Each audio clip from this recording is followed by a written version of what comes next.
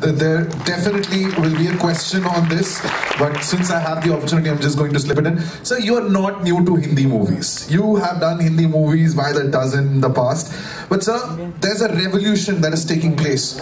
India is one place. We have different content films. We have different language films that are becoming pan-India films. Just one question. I'm not going into you know movies that are made here, movies that are made down south, but say you are starting Vikram. Are the sensibilities different when you are trying to make a pan-India film, or it doesn't matter?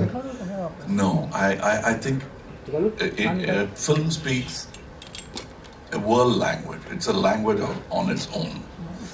And we are a country with such diversity but with fantastic unity. Yes, we might disagree, but here's a country which doesn't speak a language but calls it their national anthem with pride. None of them down south know a single word of Bengali, but they sing their national anthem in that language with pride. They know that. That's the that's the only Bengali they know is the national anthem.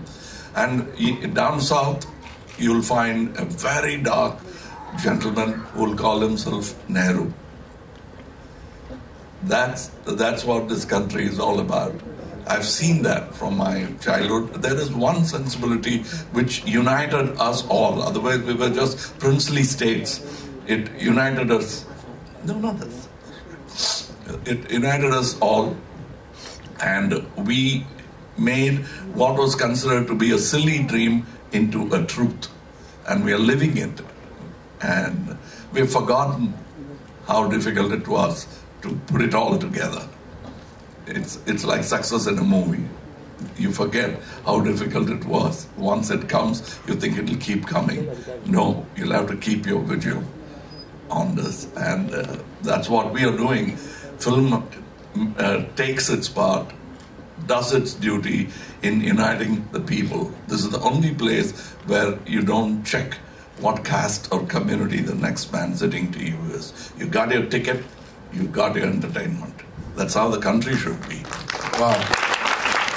This is the place, this is an example, and I am happy to belong, belong to this family which makes that possible.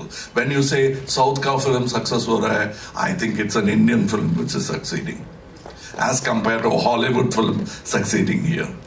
It doesn't matter which part of the country makes. We learned making big films from films like Mughal Azam, Sholay, and we didn't even try them because it was so big that Tamil films or Malayalam films could not afford a film like that. We just saw them. Sir, even sure. Yeah, Ek Duje was doable. Anybody could have done it. A Bengali could have done. All you needed is brains like Mr. K. Balachander. if you had that kind of brain, anybody could have done it. But Mughal is not just uh, uh, intelligence; it's guts to make. He's made it for years, decades to make that film. I've seen Sholay, worked with the maker of Sholay. I never thought I would even meet him, but I worked with them. So we do understand and respect. We should respect each other. If you think uh, this film is good, appreciate it. It doesn't matter. Language doesn't matter. Films don't have language. And